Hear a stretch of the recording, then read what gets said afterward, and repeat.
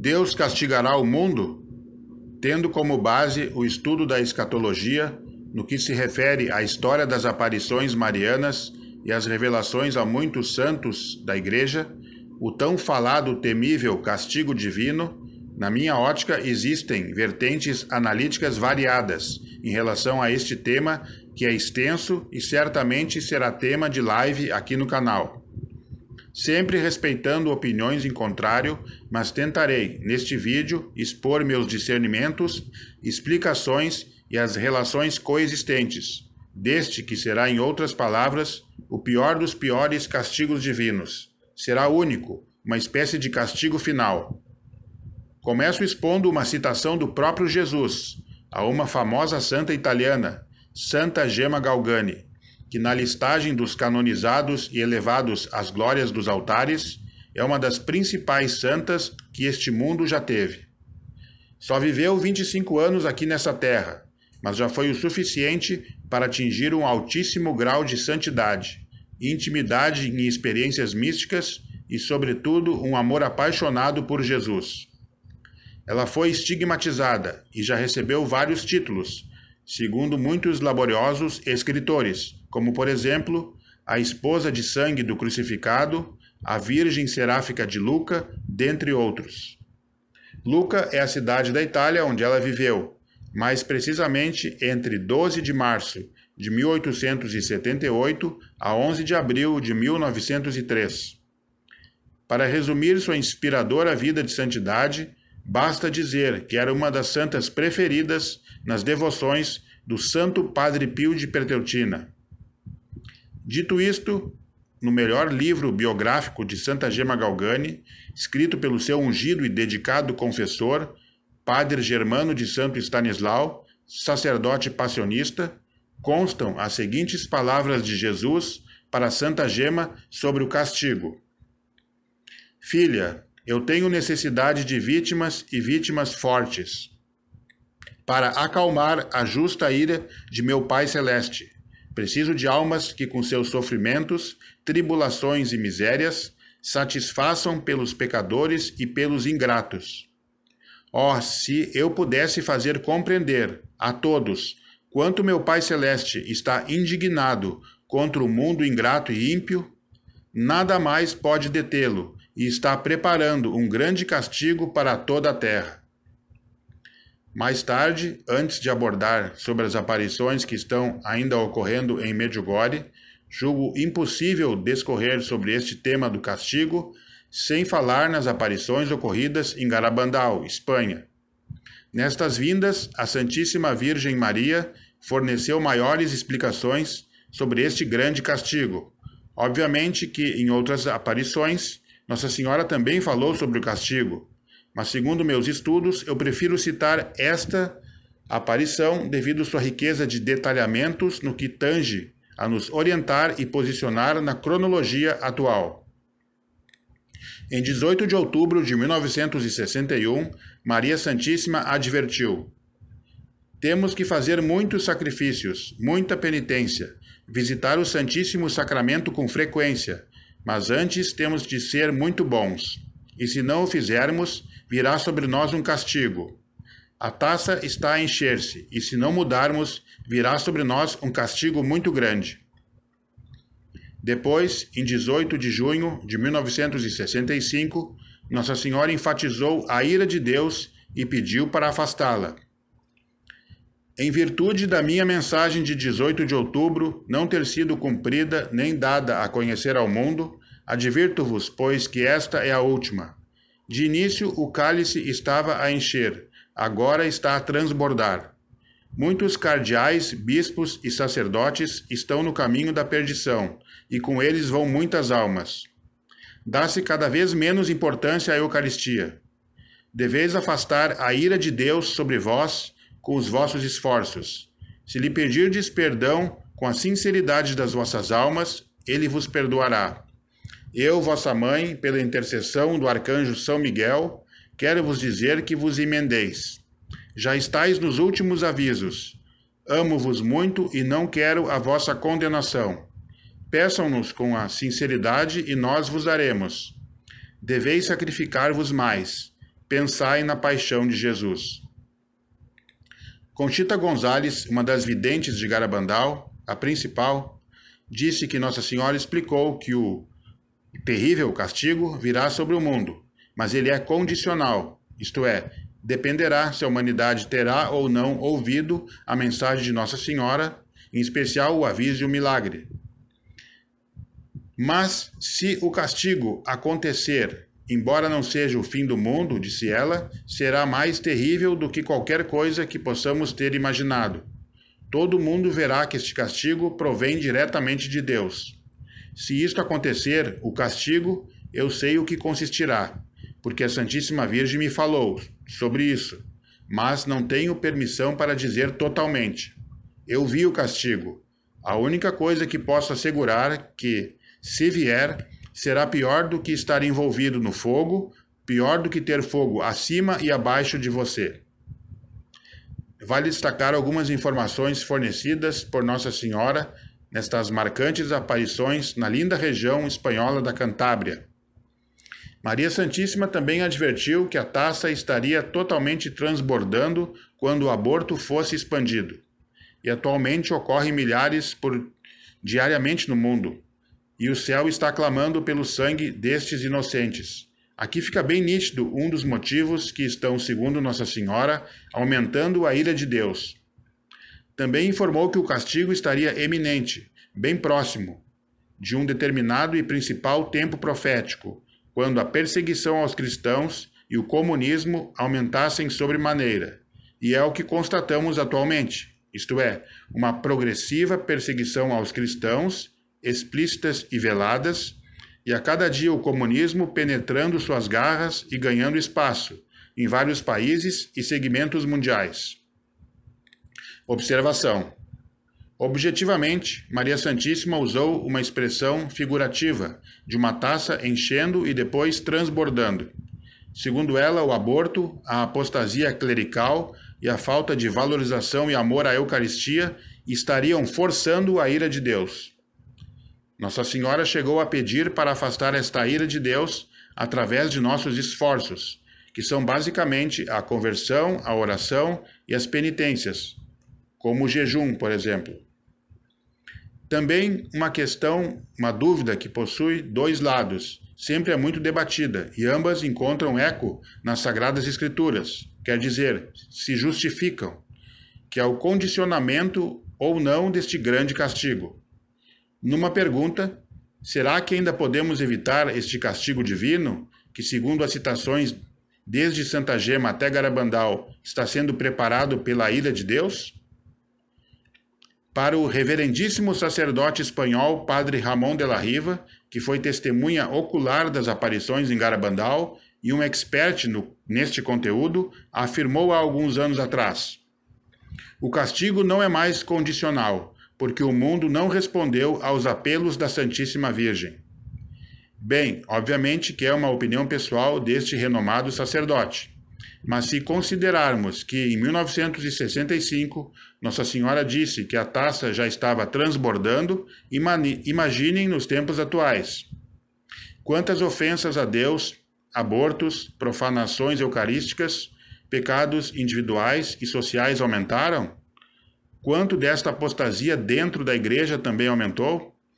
Então, temos que respeitar a vertente analítica que considera o grande castigo como inevitável. Aqui abro um espaço para citar especificamente o que Nossa Senhora salientou em La Salette. A decadência e a indiferença do clero atrairá a vingança divina, a ira de Deus. E nesta aparição, que foi totalmente aprovada pela Igreja Católica, Maria Santíssima profetizou, cito uma parte, a Itália será punida pela ambição de querer sacudir o jugo do Senhor dos Senhores. Será também entregue à guerra, o sangue correrá por todo lado, as igrejas serão fechadas ou profanadas. Os sacerdotes e os religiosos serão expulsos, serão entregues à morte e morte cruel vários abandonarão a fé, e o número dos sacerdotes e religiosos que se afastarão da verdadeira religião será grande. Entre essas pessoas encontrar-se-ão até bispos. Os maus livros abundarão sobre a terra, e os espíritos das trevas espalharão por toda parte um relaxamento universal em tudo que se refere ao serviço de Deus. Aqui faço outra observação. Na minha ótica, Nossa Senhora não veio criar o pânico, o medo e o alarmismo, mas prevenir. É óbvio que, exercendo o papel de mãe universal, vem alertar seus queridos filhos e filhas. Ela deseja a conversão, não a destruição, mas não podemos ignorar nem desprezar tudo o que Maria Santíssima já nos advertiu. De minha parte, jamais farei isto e apostolicamente considero fundamental ressaltar tudo o que Nossa Senhora alerta, neste caso específico, o grande castigo final. No mesmo sentido, cito as palavras contidas no diário de outra notória alma privilegiada e escolhida, a polonesa Santa Faustina Kowalska, que viveu de 1905 a 1938. Ela nos descreve o drama das casas religiosas que adotaram as modas do mundo, entibiando-se na fé e na caridade, e que nosso Senhor não tem outro remédio senão fechá-las, pois perderam sua razão de ser. Santa Faustina descreve o que viu na primeira sexta-feira de setembro de 1936. Pela noite eu vi Nossa Senhora com o peito descoberto, transpassado por uma espada, chorando com ardentes lágrimas, convidando-nos a nos colocarmos longe de um terrível castigo de Deus. E atualmente em Medjugorje, terão os segredos uma relação a este que foi designado de grande e terrível castigo? Certa vez, dentre tantos apelos, faço um breve compêndio de trechos, onde Nossa Senhora advertiu: Queridos filhos, rezem pelos descrentes, eles não sabem o que os espera. Suplico-lhes, escutem minhas mensagens e vivam-nas. Convertam-se sem demora. Só o que desejo é que convertam-se. Filhinhos, é preciso rezar e jejuar mais, porque Deus está sendo ofendido. Satanás deseja destruir meus planos. Convertam-se com urgência, porque vocês não sabem o que Deus enviará ao mundo. Outra observação. Na minha ótica, só existem dois caminhos. Ou a humanidade se converterá na sua maioria, e esta profecia do grande castigo será cancelada, ou ao menos amenizada, ou infelizmente, de fato, não teremos como impedir que Deus despeje sua ira sobre este mundo, segundo Jesus a Santa Gema, que se tornou ingrato e ímpio. Mas mesmo assim, penso que não podemos perder a virtude teologal da esperança. Vamos cultivar um espírito ninivita, porque sabemos que, por outro lado, Deus ainda fará o que considero um último esforço para tentar converter a humanidade. E este derradeiro esforço serão eventos já profetizados por Nossa Senhora. Classifico esses três. O terceiro segredo de Medjugorje, que será o que Deus fará, não nos ares, mas no solo da colina das aparições, no Monte Podbrodo, o qual será visível, palpável, permanente e indestrutível. O aviso e o milagre que Nossa Senhora profetizou em Garabandal. Estas duas portentosas profecias também terão esta função de conscientização e conversão mundial.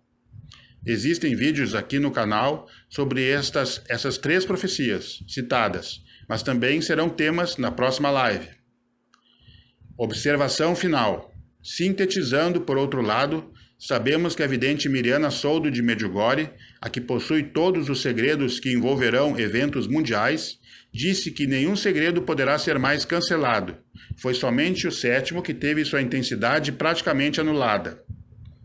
Vendo por este prisma, particularmente devido às características da profecia dos três dias de trevas, que já foi bem explicada aqui no canal, ela poderá, atenção, não estou afirmando, mas ser o décimo segredo de Medjugorje, que finalizará a série da parte punitiva.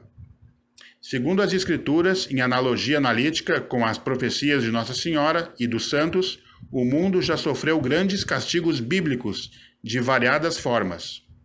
Mas para mim, o relato de Conchita Gonzalez é mais revelador. Este terrível, derradeiro, grande castigo.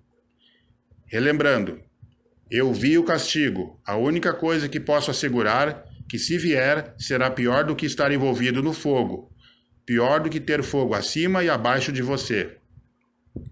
Aqui faço uma curta, mas oportuna observação. Também existe uma análise que este fogo por toda parte, que caracteriz caracterizará este pior castigo final, poderá ser uma combinação de eventos, todos ao mesmo tempo, como hecatombes da, da natureza, induzidas ou não, cataclismas, juntamente com o mundo em guerra. Então, seja como for, note que o, que o elemento fogo e as características dos três dias de trevas se assemelham com esta narrativa da vidente Conchita, que atualmente está com 71 anos de idade e reside em, em Long Island, nos Estados Unidos. Inclusive, está previsto que ela informe ao mundo oito dias antes da realização do grande milagre, que, segundo Nossa Senhora, será o maior realizado por Jesus nesta terra após a sua ressurreição, que em seguida ficará sobre a colina dos Pinheiros, Los Pinos, também um sinal permanente. A diferença é que este se produzirá nos ares e será intangível, quer dizer, não poderá ser tocado como o de Medjugorje. Conchita explicou que após o milagre, um sinal como uma coluna ficará acima dos pinheiros, que será mais resplandecente à noite e de dia menos. Será que o somatório destes eventos de elevada magnitude escatológica conseguirá seu intento, que é a conversão da maior parte da humanidade? detendo assim a citada ira divina? Mesmo sabendo que adentramos de vez no começo do pior período profético, o mais doloroso, o que está por vir, em especial os eventos que nos predisse Nossa Senhora na cronologia das suas aparições mundiais. Termino com a citação das palavras maternas e decisivas da Santíssima Virgem Maria a Santa Faustina Kowalska, concluindo, de minha parte, que a condicionalidade ainda considero possível, no sentido de atender aos apelos do céu o quanto antes. Disse Nossa Senhora: Se meu povo não quiser se submeter, fico obrigada a deixar o braço de meu filho golpear. Ele é tão pesado e tão grave que não posso mais segurá-lo. Há muito que sofro por vossa causa. Se quero que meu filho não vos abandone, Sou obrigado a rezar a ele sem cessar. Por vossa causa, mas vós não vos importais. Concluindo com uma citação bíblica. Aquele que tem ouvidos para ouvir, que ouça. Mateus 13, 9. Inscreva-se neste canal, deixe seu like, ative as notificações e compartilhe mais este importantíssimo vídeo. Abraços, paz e bem, sigamos unidos.